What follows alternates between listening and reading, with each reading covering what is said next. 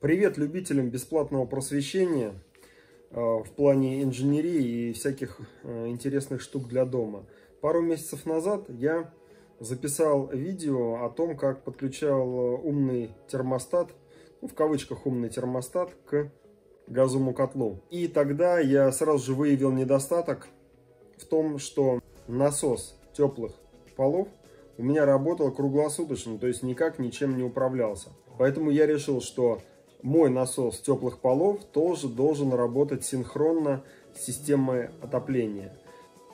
Первый довод в пользу этого, когда отключается котел, а теплопольный насос продолжает работать, он гоняет воду и э, вода быстрее охлаждается, потому что проходит через различные участки комнат.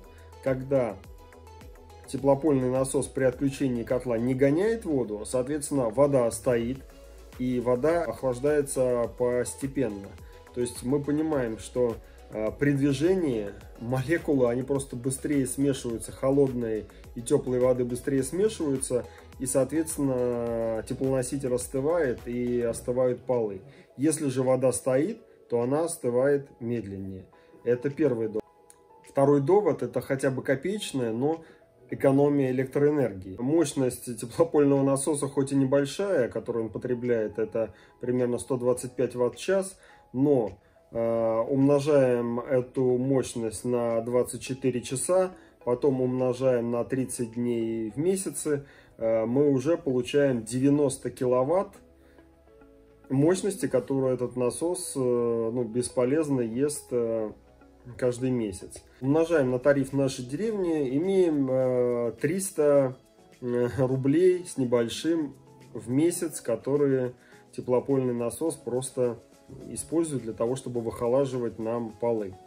Мои коллеги мне сказали, что синхронизировать котел и насос теплых полов можно, используя УКВК 02. Да, действительно легко сделать, если ты знаешь и понимаешь, что означают вот эти вот э, обозначения. Я решил нарисовать схему, которая будет понятна любому домашнему мастеру. Итак, первоначально реализована схема подключения котла э, достаточно примитивная. То есть в котле стояла вот такая перемычка на колодке, которую я показывал в предыдущем ролике. Потом, что мы сделали? Удалили эту перемычку. И по-простому завели отсюда концы на термостат. И термостат по температуре включает нам котел. При достижении заданной температуры термостат отключает котел. Когда температура падает на 1 градус, термостат снова включает котел. Эта схема очень круто работает, пока не появляется насос теплого пола. У меня он работал круглосуточно. Круглосуточно гонял, круглосуточно гудел, и мне это, честно говоря, не нравилось. Поэтому я решил э, вот эту схему, рабочую схему, изменить.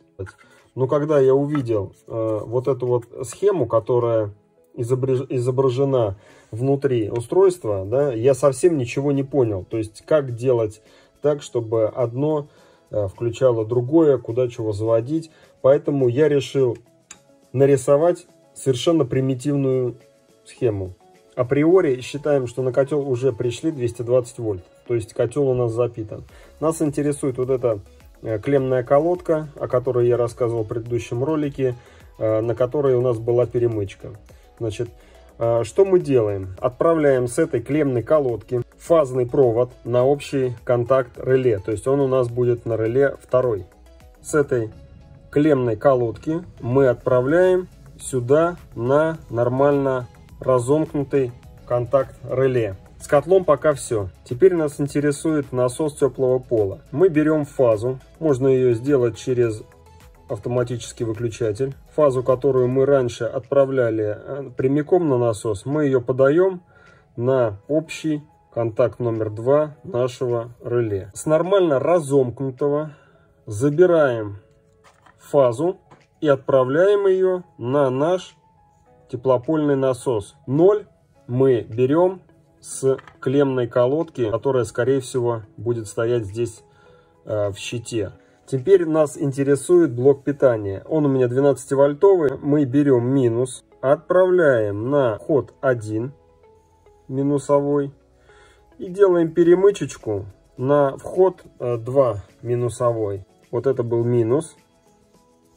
Теперь мы берем плюсик, берем контакт один из э, термостата и отправляем его сюда. А второй контакт у нас пошел на плюсовую клемму реле. Здесь нужно еще сделать перемычку на второй плюс. Как только термостат включается, у нас сразу включается и теплый пол, и котел. Как только термостат по достижении определенной температуры отключается, у нас отключается и котел, и теплопольный насос. Я думаю, если бы я показал на УКВК, то есть где что я подключал, было бы не очень понятно. Поэтому я нарисовал схему, которую вы видели выше. Я извиняюсь за, конечно, немножко кривоватую схему, но а, на этой схеме, я считаю, все очень понятно.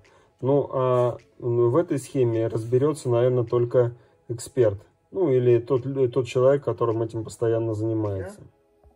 Когда подключал котел и теплопольный насос через УКВК, нигде ничего не испортил, ничего не замкнул. Поэтому смотрите схему и подключайте самостоятельно. Самому это можно сделать без проблем. Если обратитесь к профильному специалисту, это будет стоить, ну, я думаю, от 4-5 тысяч рублей. Вместе с проводами, с коммутацией и так далее. Я расскажу про то, как я подключил датчик э, температуры внешней э, к котлу. Вот здесь из котла выходят два проводочка красных они обычно заизолированы, к ним я подкинул датчик температуры. Датчик температуры у меня выходит на улицу. Теперь, если я выключаю котел, при включенном датчике температуры, у меня э, котел показывает температуру на улице. То есть он не показывает надпись OFF. Вчера он показывал минус 2, то есть э, ну, показания достаточно корректны. Теперь, если котел включить, он показывает э, сейчас температуру теплоносителя в системе, но вот этими, видно, что 43 сейчас, да, но вот этими вот клавишами я выставляю уже не температуру теплоносителя в системе, а кривую, которая э, соответствует определенным параметрам работы котла. Ну, собственно говоря, теперь котел стал э, работать э, в соответствии с заводскими параметрами, уже опираясь не на температуру теплоносителя, а на кривую, которая заложена заводом-изготовителем по температуре наружного воздуха.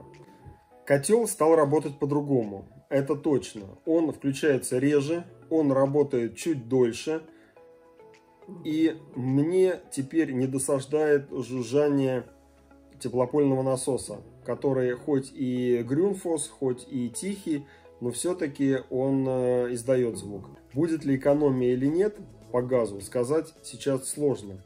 Зимы у нас теплые, не агрессивные, поэтому выводы делать пока рано. Самое главное для меня, что сейчас система работает оптимально, и это уже мне нравится. Надеюсь, видео будет полезно.